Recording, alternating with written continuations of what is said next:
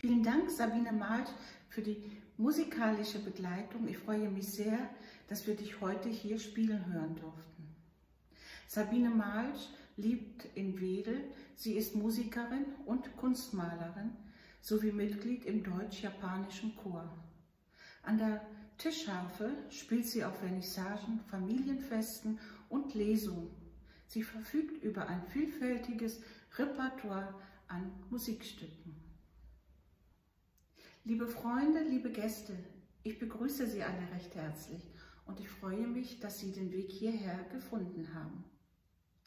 Ich bedanke mich bei den ausstellenden Künstlern Siavash Deschme, Klaus Reichelt sowie Moses Giruto für die wunderbare Zusammenarbeit. Die Galerie Kavisamba ist schon seit Jahren ein etablierter Kulturstandort hier in der Haseldorfer Marsch. Sie liefert Information und Inspiration zu Kunst und den ausstellenden KünstlerInnen. So vielfältig wie die Kunst selbst, das Galerie Kavisamba Kunstprogramm, welches in nur vier Wochen zusammengestellt wurde, sechs Ausstellungen, fünf Lesungen sowie sechs geplante Tage des offenen Galeriegartens. In einer Broschüre sind alle Veranstaltungen zusammengefasst. Die Broschüre liegt für Sie kostenlos hier in der Galerie bereit. John Donne sagte mal, niemand ist eine Insel in sich. Jeder Mensch ist ein Stück des Kontinents, ein Teil des Festlandes. Das gilt auch für die Kultur. Sie besteht nicht nur aus Inhalten, die für sich isoliert betrachtet werden können, sondern sie ist immer auch Teil eines gemeinschaftlichen Erlebnisses. Denn jedes Stück Kunst ist ein Teil der Gesellschaft, der Gesellschaft, die es kreiert hat. Die ausstellenden KünstlerInnen, AutorInnen und MusikerInnen nehmen in ihren Werken und Vorträgen Bezug zu aktuellen Themen, wie zum Beispiel Nachhaltigkeit in der Kunst. Inwiefern kann die Pandemie auch als Chance in der Kulturszene gesehen werden? Was können wir von Naturvölkern lernen? Frieden und wie Kriege unsere Welt verändern. In einem gemeinsamen Projekt mit Klaus Reichelt habe ich seine Objekte fotografiert. Die fotografischen Abbildungen sollen den Unterschied verdeutlichen, was es bedeutet, ein Kunstobjekt im offenen Raum zu betrachten oder es als fotografisches Abdruck gezeigt zu bekommen. Sicher hat beides seinen Reiz. Doch durch die intensive Auseinandersetzung mit dem Objekt in, einer, in seiner Dreidimensionalität erlebt der Betrachter ein einmaliges Kunsterlebnis, welches ihn idealerweise emotional viel tiefer berührt, als der fotografische Abdruck es jemals könnte. Während der Pandemie sind zahlreiche digitale Kulturformate entstanden, die sicher auch einen kulturellen Mehrwert darstellen, aber sicher nicht annähernd so viel Anklang seitens des Publikums finden konnten, wie die Kulturangebote vor Ort. Der Tanz der Stunden von Pontieri.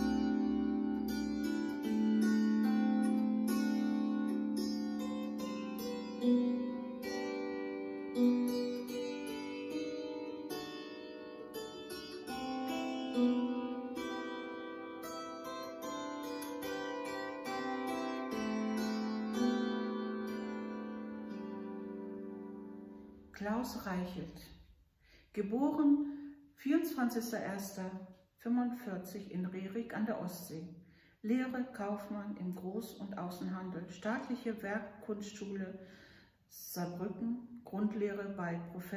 Dr. Oskar Hollweg, Fachhochschule Armgardstraße Hamburg, Abschluss Grafikdesigner, Sozialpädagogische Zusatzstudium Hamburg, Randgruppenarbeit, Mitbegründer des Vereins Kinderhaus Heinrichstraße e.V., Mitbegründer des Alternativen Wohlfahrtsverbandes SOAL e.V. Hamburg, dort 30 Jahre Geschäftsführer, Ausbildung als Gestalttherapeut bei Ischa Blomberg und immer freischaffender Künstler.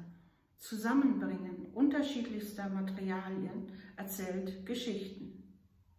Ein anregender Stein, Schweißnähte im Eisen, Ketten, Sägenspuren im Baumholz, irritieren, zusammengeführt.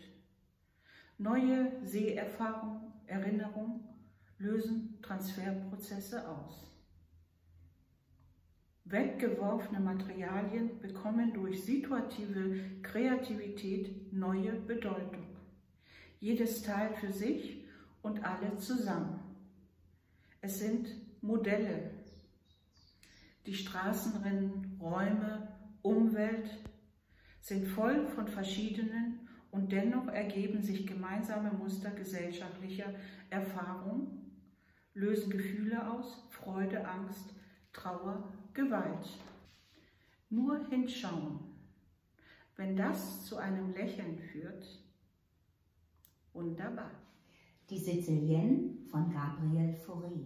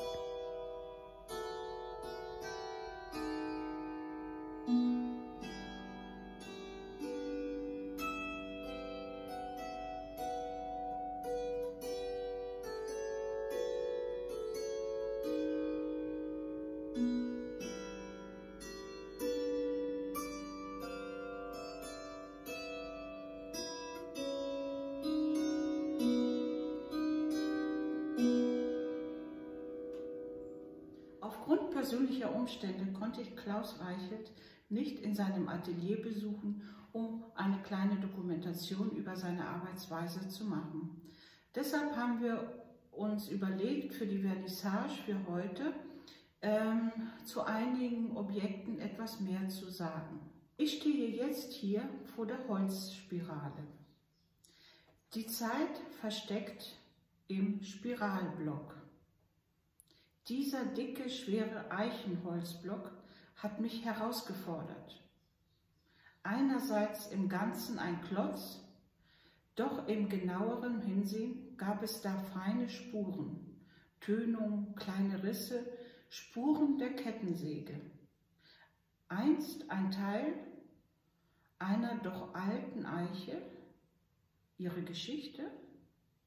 Mich haben die feinen Spuren inspiriert wollte ihnen näher kommen, ohne den Block als solchen zu zerstören.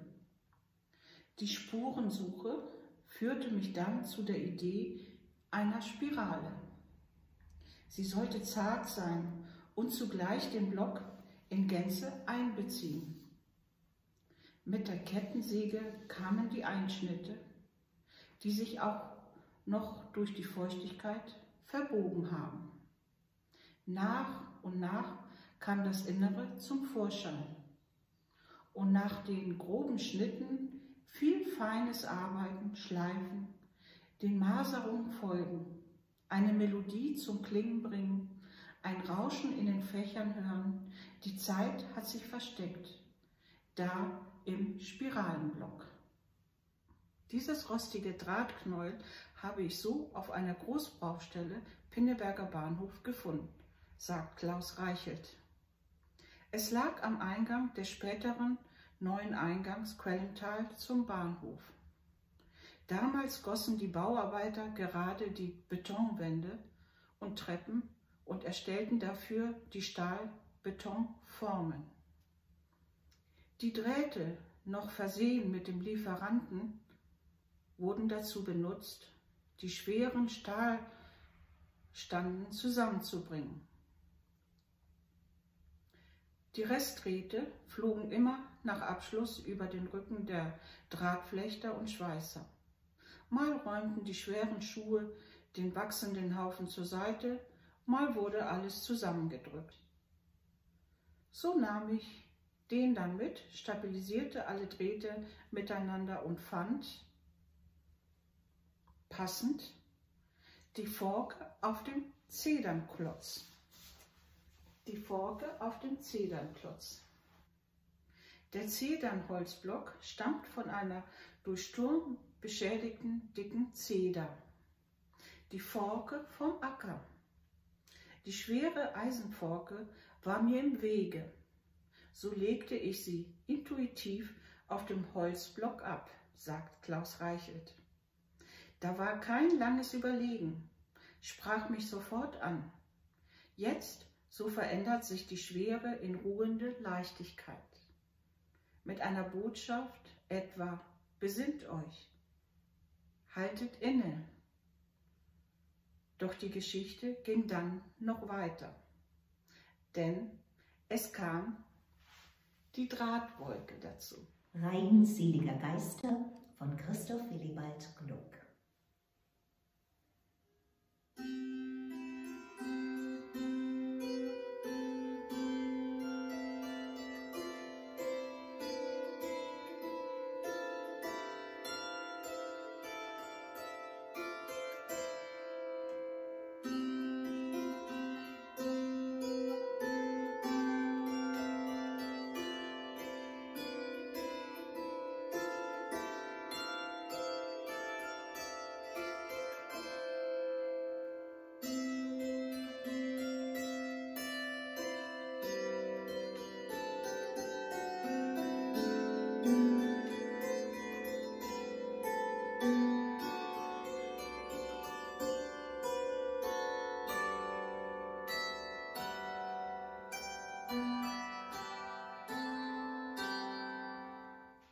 Der Künstler Siavash Deschme lebte bis zu seinem 36. Lebensjahr in Teheran. Nach seinem Abitur studierte er am Tehran Institute of Technology.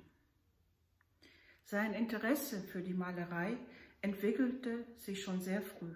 Erste Versuche mit schwarzer Tinte und Feder, dann Aquarelle auf der Highschool entdeckte er die Ölmalerei für sich. Nach seinem Umzug nach Deutschland 1992 intensivierte er sein künstlerisches Wissen.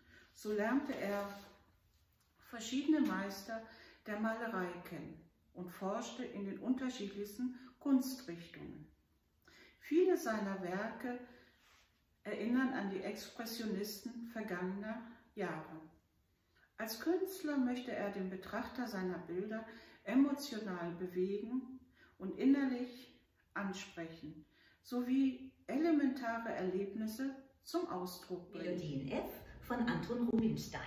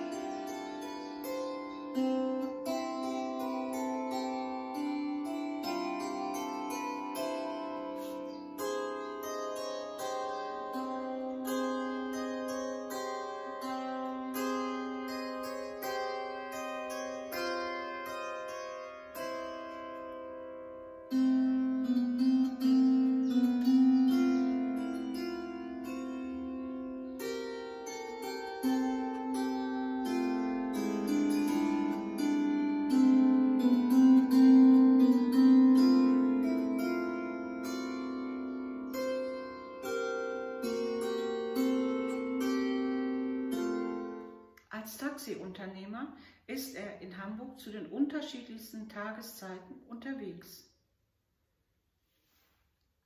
Momente, die ihn emotional berühren, fixiert er dabei schon mal mit der Fotokamera.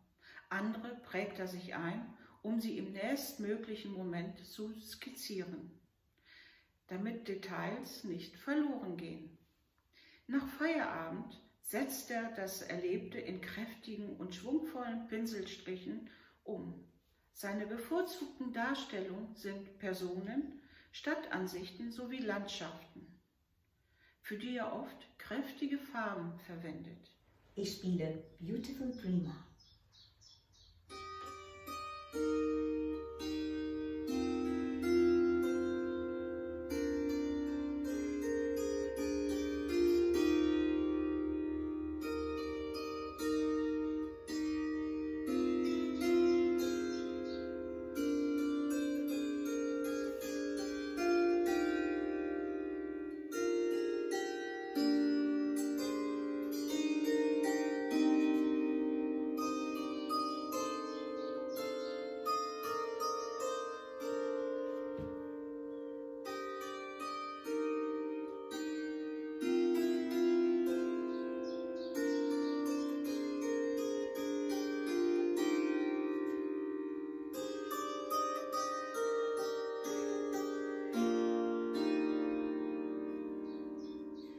Ausstellungen gestaltete er im Kulturhaus St. Georg sowie im Haus der internationalen Sprachen am Roterbaum Hamburg. Zurzeit trifft er sich regelmäßig mit einer iranisch-deutschen Gruppe zum gemeinsamen Malen. Ja, mein Name ist Siavush Deschme. Ich wohne seit 92 in Hamburg und äh, Malen ist mein Hobby und male ich gerne. Und äh, bei diesem Bild soll ich so erklären, äh, Hamburg ist sehr schön und hübsch und ich habe gedacht, vielleicht äh, kann ich äh, Hamburg in einem Augenblick, in ein Bild erklären. Und was schön in Hamburg ist, ich habe äh, versucht, auf diesem Bild mitbringen. Zum Beispiel Fernsehturm und hier ist äh, Philharmonie, Michel, Dom, Rathaus und äh, Fischer, Frau Fischer ist schon. Und Atlantik ist ein alte äh, äh, Hotel in Hamburg und Hafen und Udo und alles. Was äh, können Sie hier sehen? Mhm. Und meistens in Hamburg es regnet und ich habe gedacht, dieser Teil, die Leute äh, im Regen mit Schirm und der andere Teil ohne Schirm und die Restaurants und äh, große Freiheit und äh, Phantom der Europa.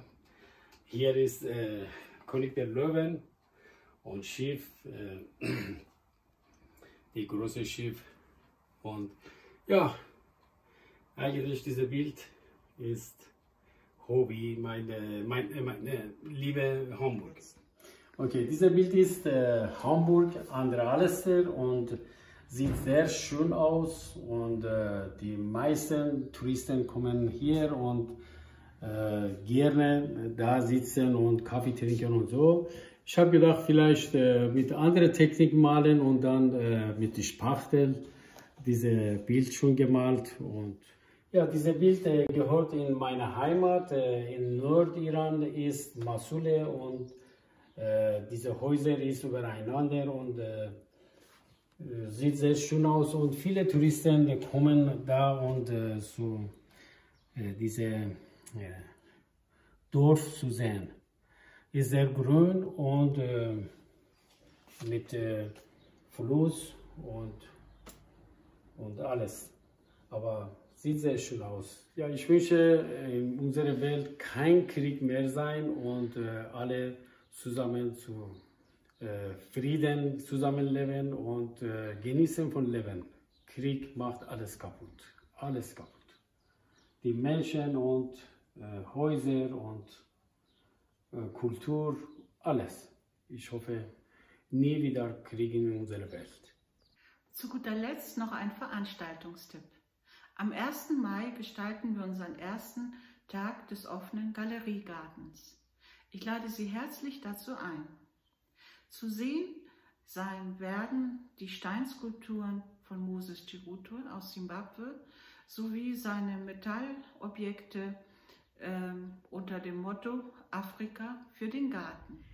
Die Luft ist blau, ein Frühlingslied von Franz Schubert.